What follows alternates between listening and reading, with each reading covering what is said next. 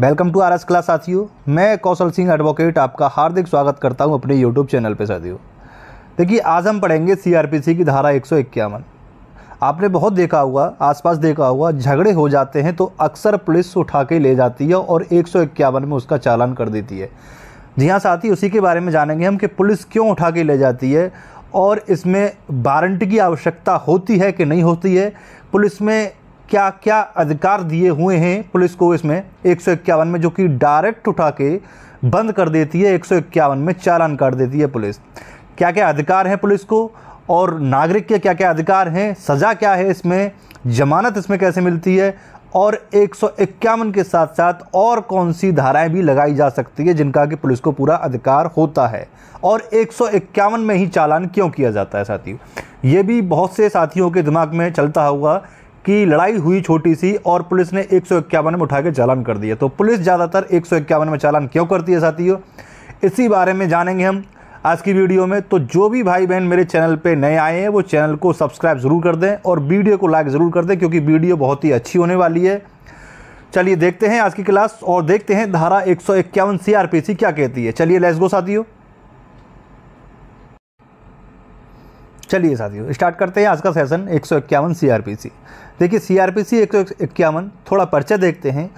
1973 की आपराधिक प्रक्रिया संहिता पुलिस को व्यापक अधिकार प्रदान करती है। देखिए, इसका नाम क्या है? 1973 की आपराधिक प्रक्रिया संहिता। यानी 1973 आपराधिक प्रक्रिया संहिता, इसका पूरा नाम है। पुलिस को व्यापक अधिकार प्रदान करती है। देखिए, यानी पुलिस को ये अधिकार प्रदान करती है, पुलिस के पास जाँच, गिरफ्तारी, तलाशी आदि की शक्तियाँ हैं। वैसे तो पुलिस के पास शक्तियाँ बहुत सारी होती हैं, लेकिन अगर इस धारा के अकॉर्डिंग बात की जाए तो गिरफ्तारी, तलाशी और जाँच आदि की शक्तियाँ हैं साथियों। आगे देखते हैं क्या कह रहा है ये। आगे कह रहा है, संहिता अपराधों के लिए दंडात्मक और निवारक उपाय प्रदान करती है। हालाँकि यह निवारक उपायों को दो शीर्षकों के अंतर्गत वर्गीकृत करती है। चलिए देखते हैं कौन से कौन से हैं वो दो शीर्षक। चलिए देखिए साथी, देखिए।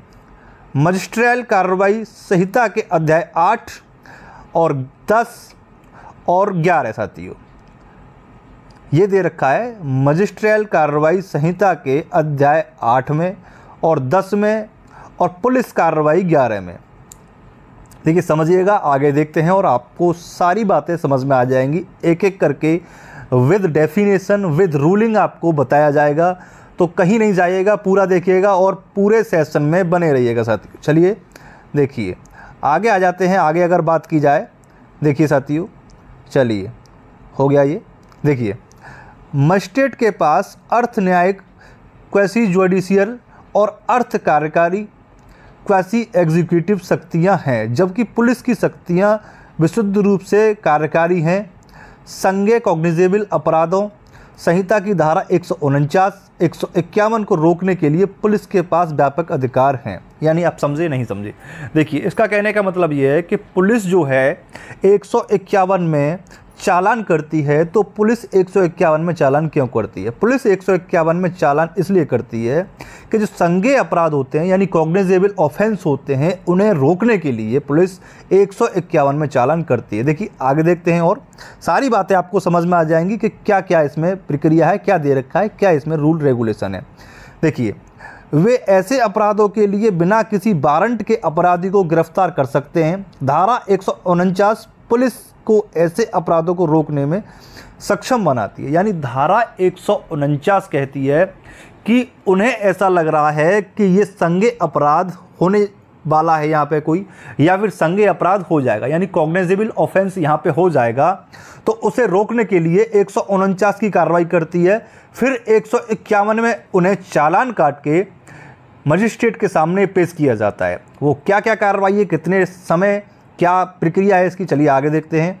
देखिए देखिए, आगे ये आ जाता है, यदि पुलिस को इस तरह के अपराध करने की योजना के बारे में जानकारी मिलती है, जैसा कि अभी हमने ऊपर कहा, यानी संज्ञेय अपराध, यानी कॉग्नेजेबल ऑफेंस करने की जानकारी मिलती है तो उन्हें ऐसी सूचना अपने वरिष्ठ सुपीरियर अधिकारी या किसी अन्य अधिकारियों को देनी होती है।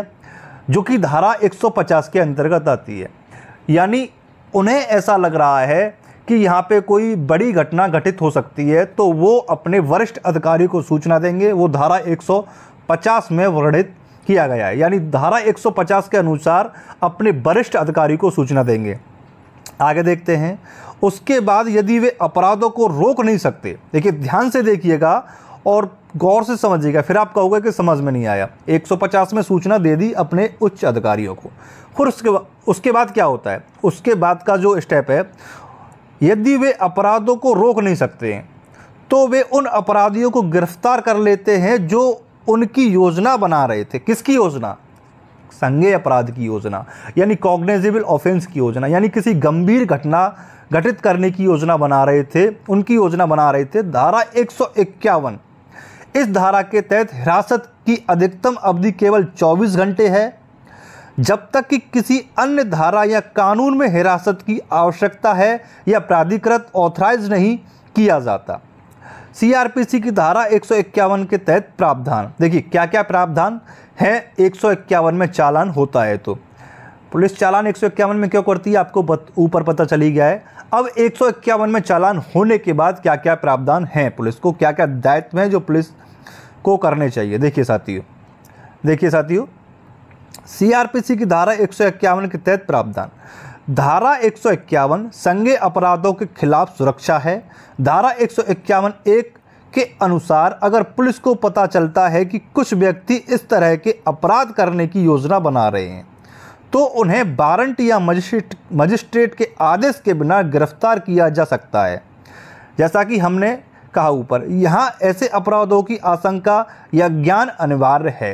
देखिए, अगर उन्हें ऐसा लग रहा है कि यहाँ पे कोई गंभीर घटना घटित हो जाएगी तो पुलिस जो है एक सौ इक्यावन के तहत उन्हें गिरफ़्तार कर लेती है। इसमें किसी के वारंट की आवश्यकता नहीं होती है।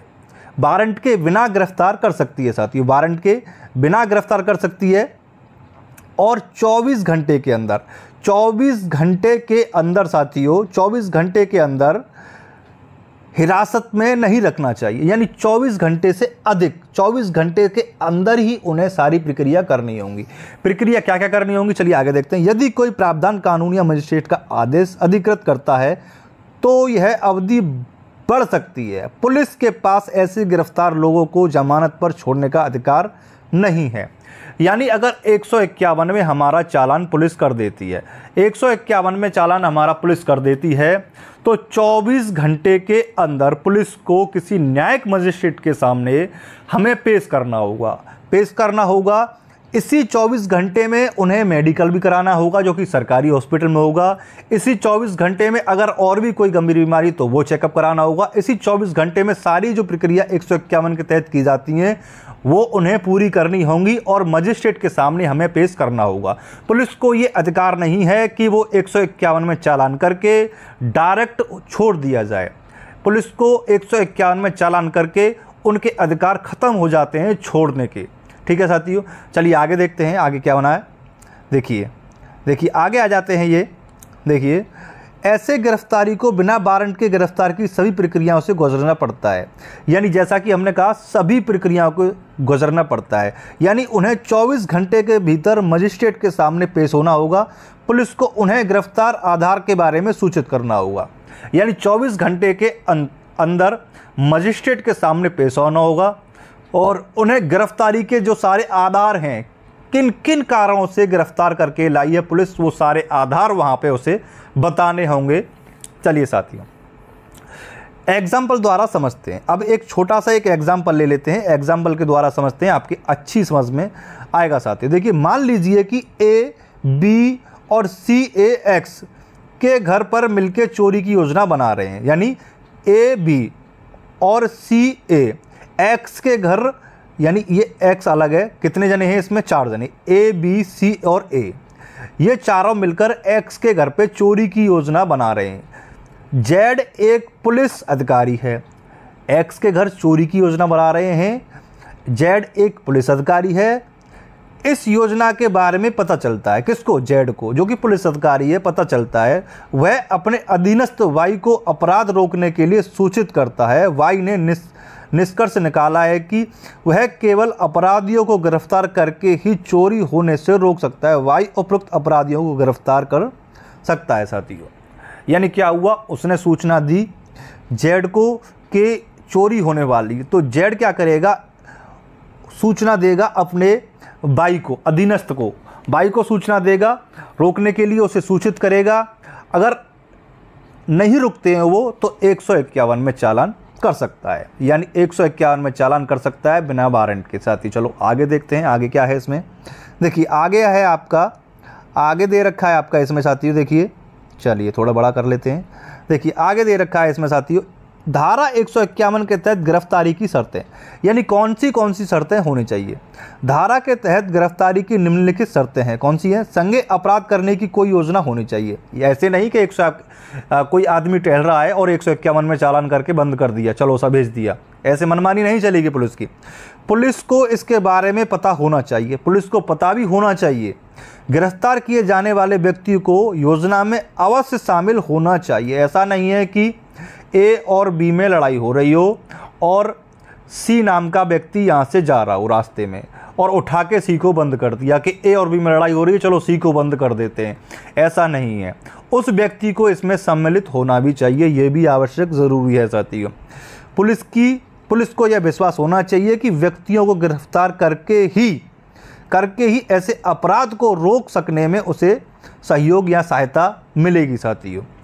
अगर उसे लग रहा है कि बिना गिरफ़्तार किए हुए काम नहीं चलेगा तो पुलिस गिरफ़्तार कर सकती है साथियों। आगे देखते हैं।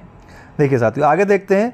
धारा एक की वैधता। देखिए, धारा एक की क्या क्या वैधता है चलिए, देखिए, देखते हैं। थोड़ा ऊपर करते हैं इसे। हाँ जी। अब देखते हैं। निवारक उपायों की अवधारणा विवाद का विषय है, क्योंकि निवारक उपायों की आड़ में पुलिस द्वारा अपनी शक्तियों का दुरुपयोग करने की घटनाएँ अक्सर रिपोर्ट की जाती हैं।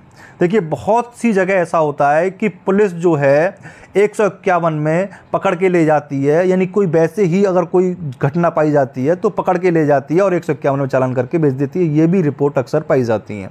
राष्ट्रीय पुलिस आयोग का सुझाव है कि लगभग साठ प्रतिशत गिरफ्तारियाँ अनुचित हैं। यानी मानता है ये कि 60 प्रतिशत गिरफ्तारियाँ अनुचित हैं। ऐसी गिरफ्तारियाँ अपराध को रोकथाम में संबंधित नहीं हैं। इनसे गिरफ्तारियों पर कुल खर्चा 43.2 परसेंट खर्च किया गया है। यानी जो वे वजह की पुलिस जो गिरफ्तारियाँ करती हैं 43.2 परसेंट का खर्च किया जाता है इन पर खर्च तो होगा ही होगा भाई, सारी जो प्रक्रिया जो पूरी करनी होती हैं, जैसा कि हमने अभी ऊपर देखा जाती है। धारा एक सौ इक्यावन की संवैधानिक वैधता को चुनौती देने के लिए भारत के सर्वोच्च न्यायालय के समक्ष कई याचिकाएँ दायर की जाती हैं। यानी एक सौ इक्यावन में जो पुलिस बेतुके चालान करके भेज देती है भारत के सर्वोच्च न्यायालय के समक्ष कई याचिकाएँ दायर हो चुकी हैं इसमें, पर उनमें कार्रवाई चल रही है। इसीलिए पुलिस मन चाहे जिसी को भी एक सौ इक्यानवे चालान करके नहीं भेज सकती। उनको सारी चीज़ों की जानकारी भी होना आवश्यक है, साथियों। साथियों, आज की क्लास कैसी लगी? ये कमेंट बॉक्स में आप मुझे ज़रूर बताइएगा, और जो भी क्वेश्चन पुट ऑफ़ करना है वो कमेंट बॉक्स में ज़रूर पूछिएगा। वीडियो अच्छी लगी होगी तो प्लीज़ लाइक का बटन क्लिक करके ज़रूर जाइएगा। आगे एक नई जानकारी लेके, एक नई धारा लेके आपके सामने फिर उपस्थित होता हूँ। तब तक के लिए बंदे मातरम। जय हिंद साथियों।